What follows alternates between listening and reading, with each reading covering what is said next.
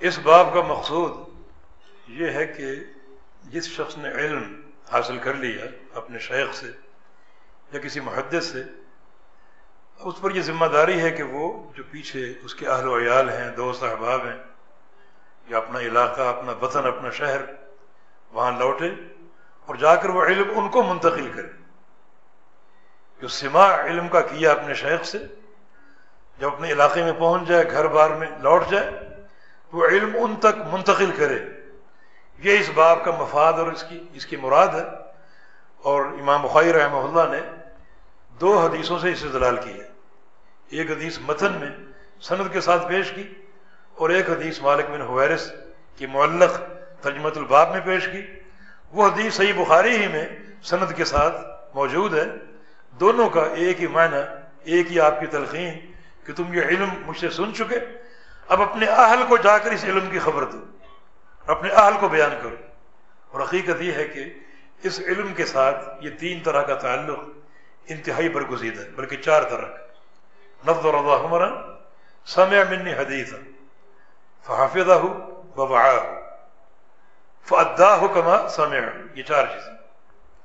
اللہ اس شخص کے چہرے کو تر و تازہ کر دے۔ دنیا اور آخرت۔ میں دنیا میں اس طرح کہ اس کو خوش کر دے۔ چہرے، چہرہ پر رونق اور تر و تازہ کب ہوگا؟ جب دل غم سے خالی ہے اس شخص کو کوئی غم نہ ہو۔ اور قیامت کے دن چہرے کی تر و تازگی، جنت کی نعمتوں کے ساتھ اور اللہ کے دیدار کے ساتھ۔ تعریف فی وجوہ نظرت النعیم۔ بڑی عظیم دعا جس کا حدیث کے ساتھ چار طرح کا تعلق۔ سمع منی حدیث میری ایک حدیث سن لے۔ ایک حدیث۔ فحافظہ ہو اس کو یاد کر لے لفظ یا معنی۔ فوا ہو اس کو سمجھ لے الفعی الفہم۔ اور فدا ہو کما سمع ہو پھر جیسے سنا، اسی امانت کے ساتھ آگے پہنچا دے یہ چار طرح کا تعلق ہے۔ اور یہاں اس چوتھے تعلق کی نشاندہی ہے۔ تحریر النبی صلی اللہ علیہ وسلم، وفد عبد القیس یحفظ المان والعلم۔ نبی علیہ السلام نے ترغیب دی وفد عبد القیس کو کہ وہ ایمان اور علم جو ہے، اس کو یاد کر لیں۔ جو ایمان اور علم مجھ سے حاصل کیا ہے، اسے یاد کر لیں، اپنے پاس محفوظ کر لیں۔ وہ یخ بے رو ممورا ہوں اور جو پیچھے لوگ چھوڑ کر آئے ہیں، اپنے قبیلے کے لوگ، اپنے اہل و عیال، انہیں جا کر خبر دیں۔ انہیں جا کر خبر دیں۔ جیسا کہ آگے حدیث میں آ رہا ہے۔ وقال مالک بن الحویرث مالک ابن حویرث رضی اللہ عنہ، نبی اسلام کے صحابی، جو ان صحابہ میں شامل ہیں، جو آخر میں اسلام لائے۔ اور یہ یمن سے آئے تھے۔ اسلام قبول کیا جب رسول اللہ علیہ وسلم جنگ تبوک کی تیاری کر رہے تھے۔ نو ہجری۔ اور کچھ وقت ساتھ رہے۔ پھر آپ نے ان کو واپس یمن بھیج دیا کہ جو تم نے علم مجھ سے لیا ہے، وہ جا کر یمن میں لوگوں کو سکھاؤ۔ اور پھر ایک سال بعد دوبارہ آئے نبی السلام کی خدمت میں، دس ہجری، اور گیارہ ہجری میں اللہ کے پیارے پیغمبر فوت ہو۔ مالک ابن حویرس ان صحابہ میں سے ہیں جنہوں نے نبی علیہ السلام کا رف الیدین نقل کیا۔ نماز شروع کرتے ہوئے رکو جاتے ہوئے اور رکوع سے اٹھتے ہوئے۔ نو ہجری میں۔ واپس لوٹ گئے۔ ایک سال بعد پھر آئے دس ہجری میں۔ کہتے ہیں کہ صحابہ اور نبی علیہ السلام نے کمبل اوڑے ہوئے تھے۔ سردی کا موسم تھا۔ اور کمبل کے اندر ان کے ہاتھ رف الدین کے لیے حرکت کر رہے تھے۔ دس ہجری۔ اور گیارہ ہجری کے شروع میں ربی الاول میں آپ فوت ہوئے۔ یہ منسوخ کب ہوئی کوئی مائی کا لال جو منسوخ ہونے کے دعوے کرتے ہیں، ان دو چار مہینوں میں اس کا منسوخ ہونا ثابت کرو۔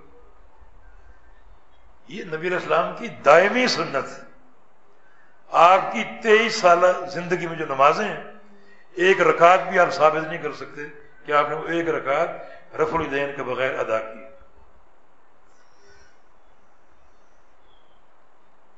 تو یہ حدیث امام بخاری کے شیخ محمد بشار سے مروی۔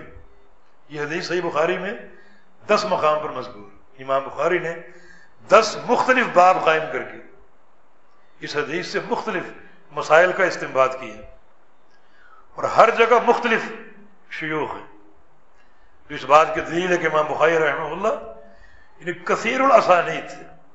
بے شمار اسانید، کثیر العلم تھے۔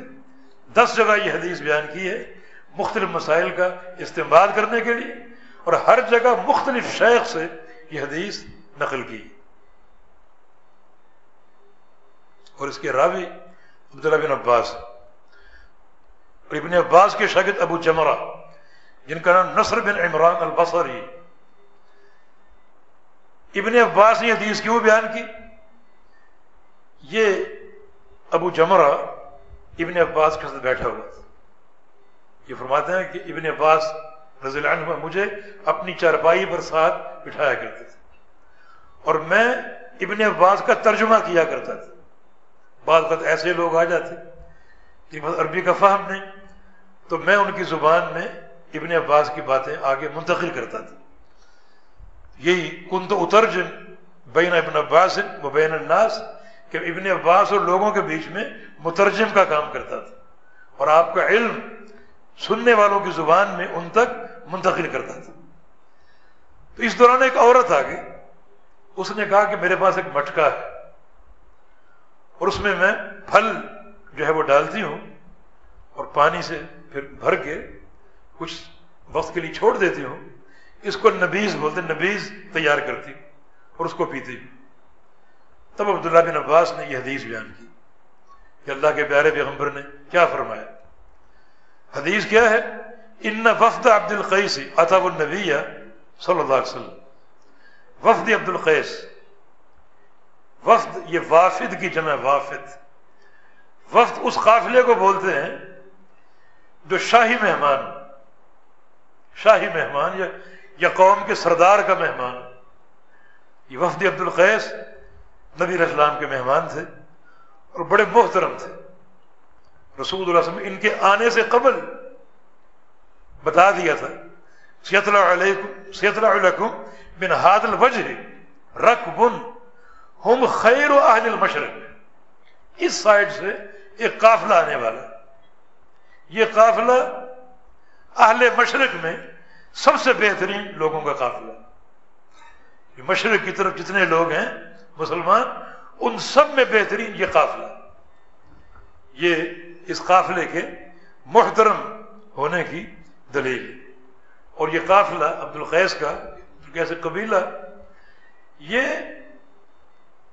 عام الفتح آیا تھا یعنی اس سال، جس سال رسول اللہ علیہ وسلم نے مکہ فتح کی۔ فتح مکہ سے قبل یہ قافلہ آیا تھا۔ اسلام قبول کر چکے تھے۔ اسلام قبول کیسے کیا؟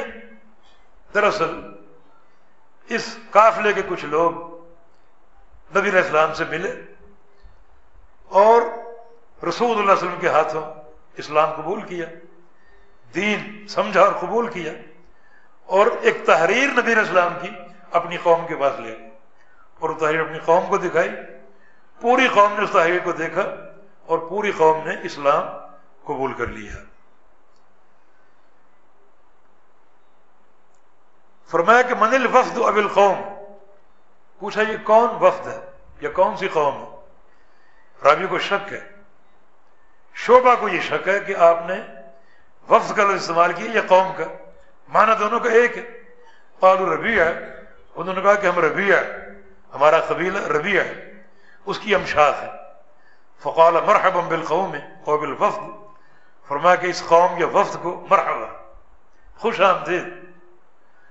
مرحبا رحبن سے ماخوذ ہے، جس کے معنی وسرت اور کوشادگی۔ سادف تم رحبا، جس کا منصوب ہونا مفعولیت کی بنا پر کہ تم کشادگی کو پہنچے۔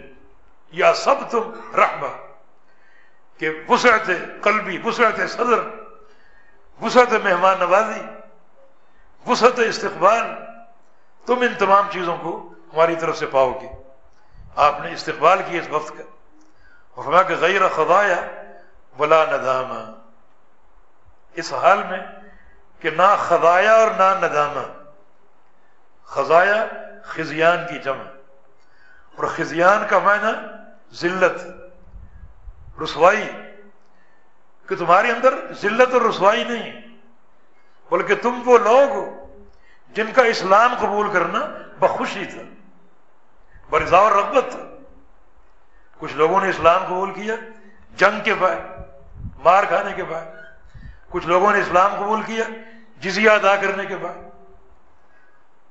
تو انہوں نے کچھ ذلت یا کچھ ایسا معاملہ سہا جو اس اکرام کے منافی ہے جو تمہارے پاس ہے، غیر خدایا اس کا تعلق ماضی سے۔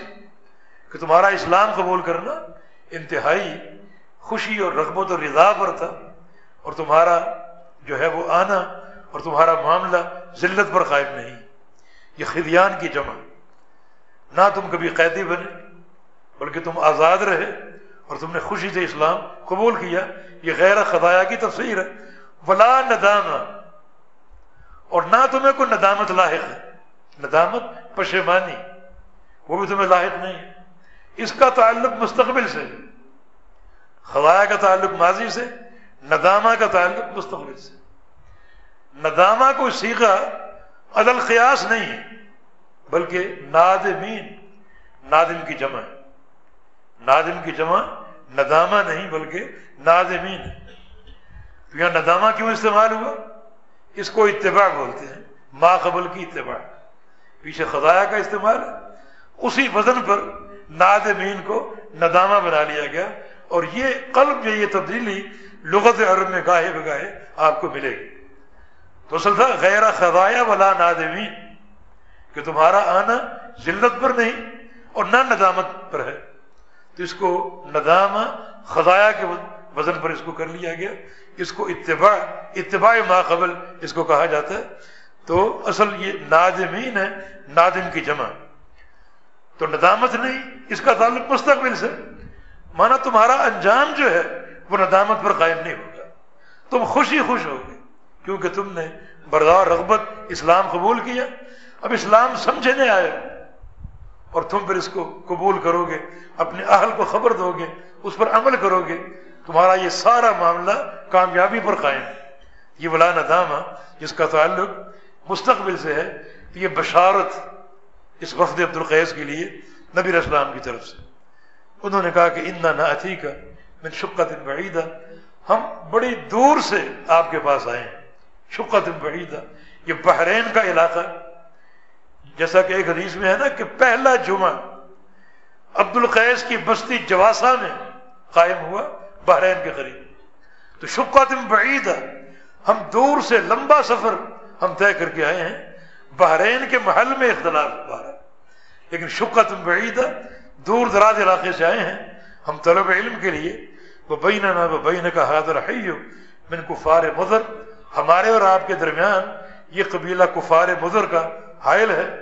ہم اگر اپنے گھروں سے نکلیں تو یہ کافر ہمیں تنگ کرتے ہیں۔ ہم پر حملہ کرتے ہیں، لوٹ مار کرتے ہیں۔ ہم ہر وقت نہیں آ سکتے۔ ہم گھروں سے باہر نکلنے کے لیے حرمت والے مہینوں کا قصد کرتے ہیں۔ کیونکہ حرمت کے مہینوں کا وہ بھی احترام کرتے ہیں۔ حرمت کے مہینے چار ذوالقاعدہ ذوالحجہ اور محرم۔ اور چوتھا رجب۔ تین متوالی ہیں اور ایک الگ ہے۔ تو حرمت کے مہینوں کا سب احترام کرتے تھے۔ ان مہینوں میں قافلے نہیں لوٹتے تھے، حملہ نہیں کرتے تھے، لڑائی جھگڑا نہیں کرتے تھے۔ یعنی چونکہ ان مہینوں میں قافلے محفوظ ہوتے ہیں، تو ہم اسی انہی مہینوں میں آ سکتے ہیں اور عام آپ کے پاس نہیں آ سکتے۔ تو ہمارا آنا بڑا اہم ہے۔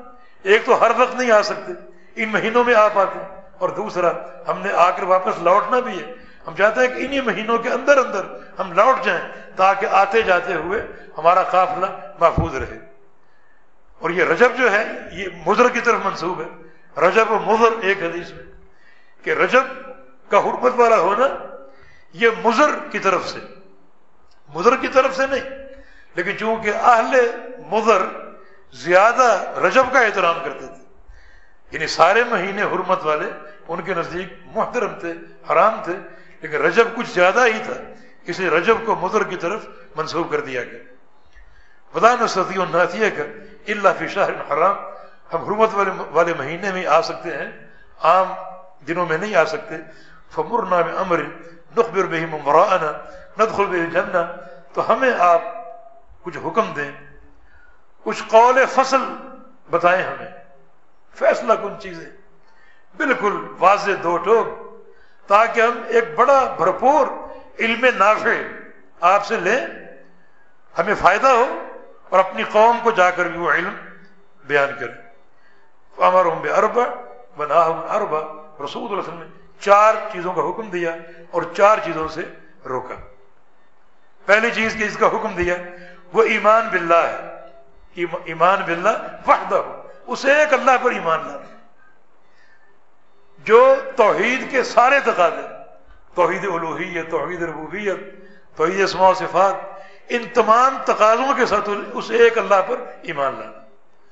فرمایا کہ حل تضرون عمل ایمان باللہ وحدہ؟ کیا تم جانتے ہو ایک اللہ پر ایمان لانے کا معنی کیا ہے؟ انہوں نے کہا کہ اللہ رسول عالم اللہ اس کا رسول جانتے ہیں، زیادہ جانتے ہیں۔ ان علم کو منسوب کیا اللہ اور اس کے رسول کی طرف۔ یہ منسوب کر سکتے ہیں امور شرعیہ میں، امور دینیا میں۔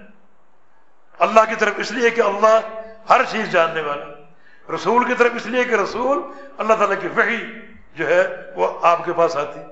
آپ کے پاس علم ہوگا منسوخ کر سکتے امور شرعیہ، امور قدریہ کون کونیا میں نہیں۔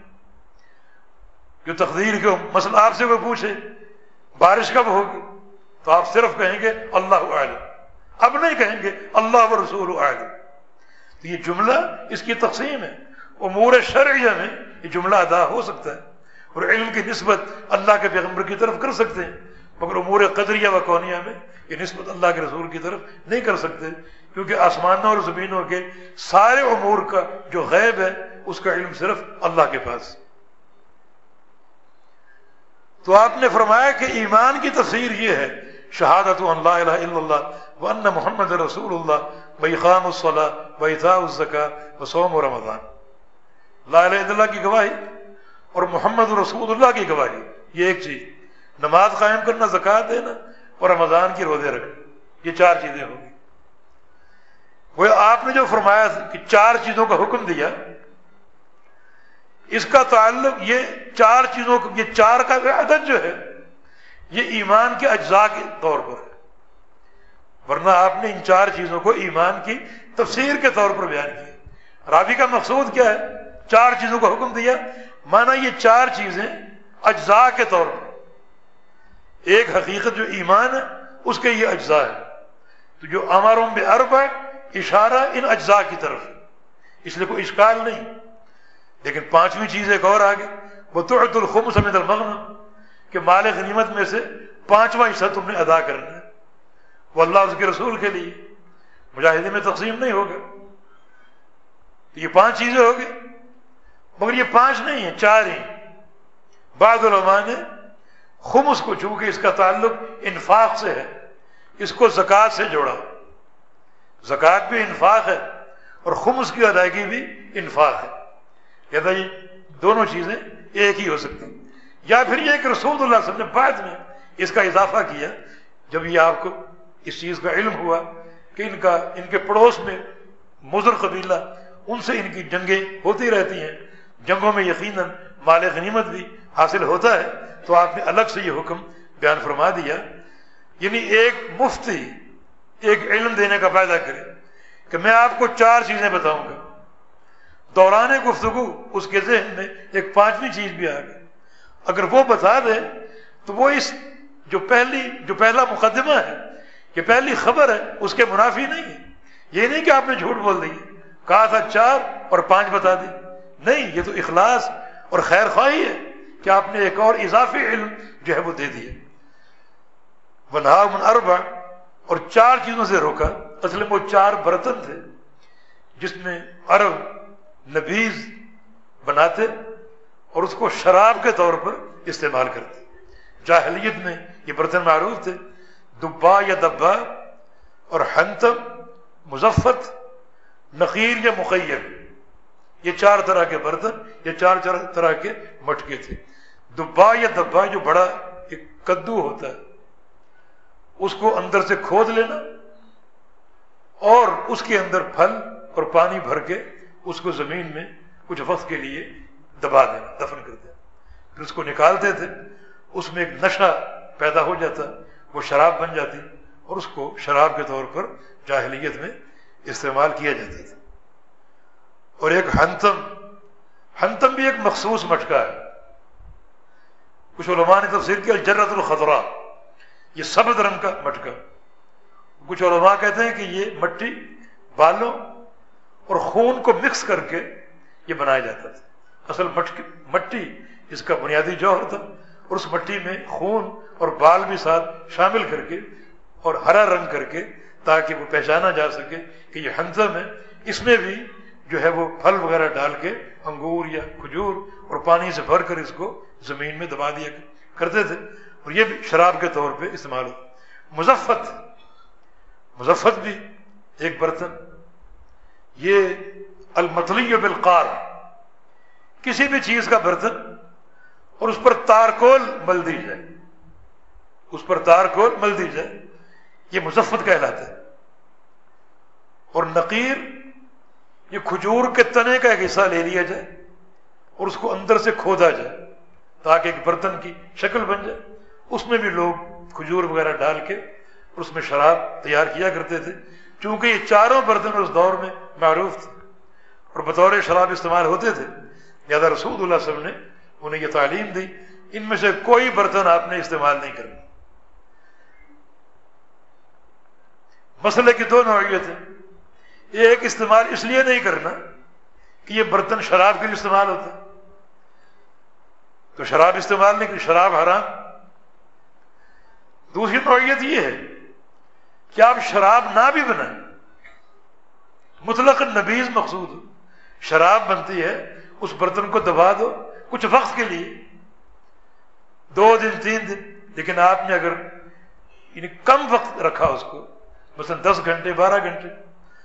اتنے عرصے میں اس میں نشہ پیدا نہیں ہوتا، اس کو نبیز کہا جاتا ہے۔ تو آپ اس کو نبیز کے طور پہ استعمال کریں۔